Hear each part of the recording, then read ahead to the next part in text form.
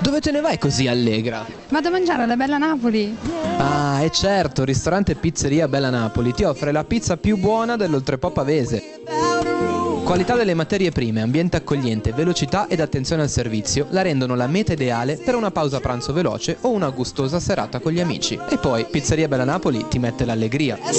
Solo a Casteggio in via Vigorelli 1-3. E se vieni proprio stasera c'è una sorpresa per te.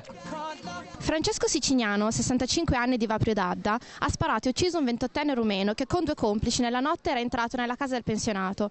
Ora Siciniano è indagato per omicidio volontario, ma sono in molti a invocare la legittima difesa per questo caso. Lei pensa si tratti di omicidio volontario o il pensionato non aveva scelta? Io penso che nessuno abbia il diritto di entrare a casa, in una casa privata in, in qualunque ora della giornata sia se non è invitato. Se io mi trovo uno, un estraneo in casa una certa ora del giorno, cerco di difendermi, indipendentemente da ciò che dice la legge.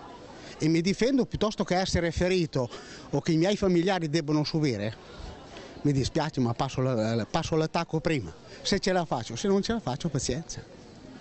Il, il, governatore Maroni ha, pro, ha, promesso che la regione interverrà per pagare le spese legali. Secondo lei sarebbe un gesto corretto o non è questo il modo per utilizzare i soldi dei contribuenti? Un gesto corretto, ma ci vorrebbe una legge che difende il cittadino prima e poi quello che viene. Ma prima il cittadino.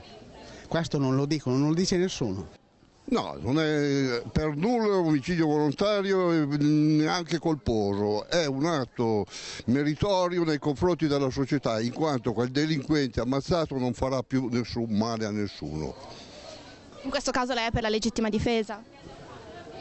Legittima difesa di se stesso e della collettività. Quindi il governatore Maroni ha promesso che la regione interverrà per pagare le spese legali. Secondo lei sarebbe un gesto corretto o non è questo il modo per utilizzare i soldi dei contribuenti? È un gesto più che corretto, ma insufficiente, in quanto non muta la legislazione. Bisognerà trovare dei mezzi più efficaci per indurre chi governa a mutare la legislazione vigente. Quindi eventualmente lei eh, sarebbe d'accordo per quanto riguarda le armi, perché c'è chi dice il problema è a monte sia quello del, di possedere armi in casa. Secondo lei è, è un diritto del cittadino di, dall'autodifesa o comunque sono questi casi che poi portano a omicidi? Nei paesi civili come gli Stati Uniti è un diritto assoluto il possesso dell'arma. Quindi il fatto che sia una concessione dello Stato in Italia è un abuso. Eh, il cittadino ha diritto di essere armato come vuole eccetto che con armi da guerra. Non è pericoloso il porto d'armi in questi casi? Come negli Stati Uniti appunto si sono visti moltissimi casi di ehm, persone forse poco sane di mente che sono entrate in scuole. Pericolosi sono i criminali, le armi sono uh, neutrali, nel senso che possono servire al bene e al male. Quindi è la persona che è pericolosa, non l'arma. Secondo me il pensionato non aveva scelta e comunque è, è, giusto che ognuno cerchi di difendere la propria abitazione, la propria vita e la vita dei suoi familiari.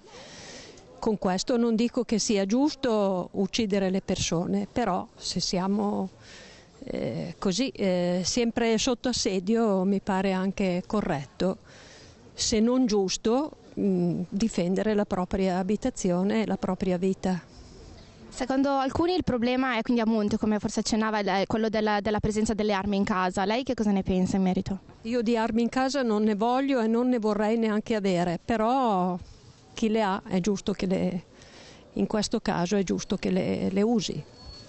Eh, il governatore Maroni ha promesso che la regione interverrà per pagare le spese legali. Secondo lei sarebbe un gesto corretto o non è questo il modo per utilizzare i soldi dei contribuenti? Secondo me non è corretto, però ognuno cioè, deve prendersi le sue responsabilità e chiaramente se se questo è, se uno deve difendersi è giusto che poi difenda, cioè, paghi anche per conto suo senza decidere di, o pensare di poter usare i soldi dei contribuenti.